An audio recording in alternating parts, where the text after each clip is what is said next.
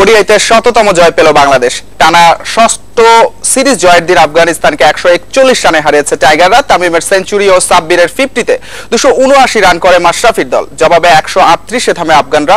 Match ও series সেরা হয়েছেন তামিম ইকবাল। এই জয়ের শুভেচ্ছা জানিয়েছেন রাষ্ট্রপতি ও প্রধানমন্ত্রী। আট বছর পর মোশারফ হোসেনের প্রত্যাবর্তন। তাইজুলকে সরিয়ে শফিউল।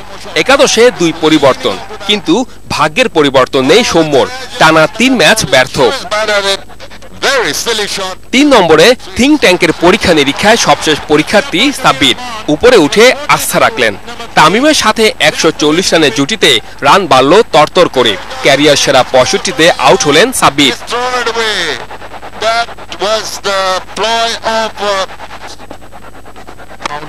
সাব্বিরের বিদায়ে ক্ষুরোধার তামিমের ব্যাট। প্রথম ম্যাচে সেঞ্চুরির কাছে গিয়ে আউট হয়েছেন। এদিন ওডিআইতে টাইগারদের সবচেয়ে বেশি সেঞ্চুরির মালিক বনে যান. সেঞ্চুরি করে সমানে ব্যাট চালালেন, কিন্তু বেশি দূর এগুলেন না। একশো আঠারোতে থামলেন টাইগার ওপেনার. তামিমের বিদায়ে পথ হারায় বাংলাদেশ। শেষ দশ ওভারে মাত্র চৌষট্টি রান, উইকেট গেছে পাঁচটা।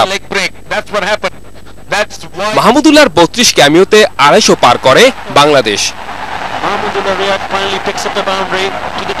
দুইশো উনআশি রান নিরাপদ না হলেও বোলাররা ভরসা দিলেন।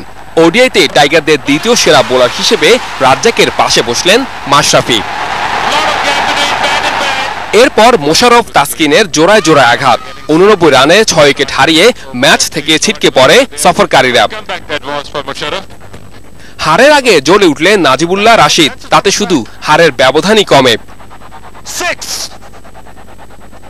শততম জয়ের সাথে দেশের মাটিতে টানা ষষ্ঠ সিরিজ জয় ইংল্যান্ড সিরিজের আগে আত্মবিশ্বাসের জ্বালানি পেল বাংলাদেশ.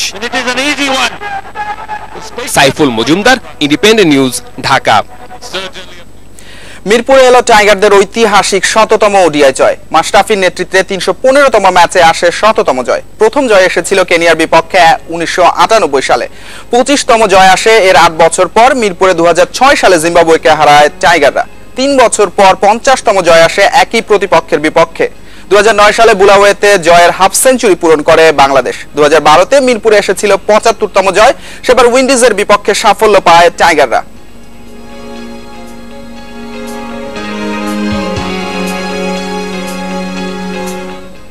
টাইগার ক্রিকেট নিয়ে কথা বলতে স্টুডিওতে আছেন জাতীয় দলের সাবেক ক্রিকেটার হাসিবুল হোসেন শান্ত। কথা বলছি তার সঙ্গে। শান্ত ভাই শুরুতেই আপনাকে স্বাগত জানাচ্ছি। ধন্যবাদ। বাংলাদেশের প্রথম ওয়ানডে জয়ের সাক্ষী ছিলেন আপনি। ওই ম্যাচে খেলেছিলেন। একশোতম জয় এসেছে তিনশো পনেরোতম ম্যাচে। আসলে ধারাবাহিকতাটা কেমন হচ্ছে এবং এই যে একশোতম জয় এলো এরপরে দেড়শো দুশো আড়াইশো এই জয়গুলোকে আরও কাছাকাছি সময় আসবে কিনা? অবশ্যই আপনি যদি লাস্ট ফিউ কিছু খেলা দেখেন যে সিরিজ কিন্তু আমরা জিতেছি সেগুলো কিন্তু মানে একটার পর একটা কিন্তু খেলা উইনগুলি চলে আসছে। সো জয়ের সংখ্যা কিন্তু খুব তাড়াতাড়ি আসছে। মাঝখানের গ্যাপটার পরে কিন্তু এখন কিন্তু রেগুলারলি আমরা ওয়ান ডেতে ভালো ক্রিকেট খেলছি দেখে কিন্তু আমাদের জয়গুলি তাড়াতাড়ি আসছে এবং সামনে আশা করি আরও বেটার হবে। আফগানিস্তান সিরিজটা শুরুর আগে আমরা কিন্তু ফেভারিট ছিলাম এবং প্রথম দুই ম্যাচে কিন্তু আফগানিস্তান বরং আমাদেরকে আন্ডারডগ বানিয়ে দিয়েছিল। এই ম্যাচে একটা প্রেশার সিচুয়েশন ছিল এবং যে জয়টা এসেছে এরকমই কি সিরিজটা হওয়া উচিত ছিল কিনা? না আরেকটু বেটার হওয়া উচিত ছিল বাংলাদেশের আহ, হয়তো বা অনেকদিন পরে আসলে এরকম ইন্টারন্যাশনাল ম্যাচে খেলাটা একটু হলেও মানে কমফোর্টেবল জোনটা আসতে একটু সময় লাগে। সো আমার মনে হয় যে লাস্টে এসে সেই জায়গাগুলি কাভার করেছে। তারপরে আমি বলুন আজকের খেলা কিন্তু আরেকটু রান হলে ভালো হতো। কারণ তামিম এবং সাব্বির সাব্বির, বিশেষ করে সাব্বির সাব্বিরের উদ্দেশ্যে বলব যে, ও যদি আরেকটু তার সেন্স খাটাতো মাঠে যে, অনেক আরও বিশ ওভার বাকি ছিল খেলার, সে যদি আরেকটু স্টে করতো, তাহলে তার তার রান বেশি হতো, সাথে কিন্তু বাংলাদেশ টিমেরও রান বেশি হতো এবং তার প্রিপারেশনটা ভালো হতো। সামনে ইংল্যান্ডের সাথে খেলা, তার কনফিডেন্স লেভেল অনেক হাই থাকতো। তামিমও সেরকম যদি, আসলে এখানে কিছু জিনিস আমাদের খেয়াল করতে হবে যে আমরা মাঠে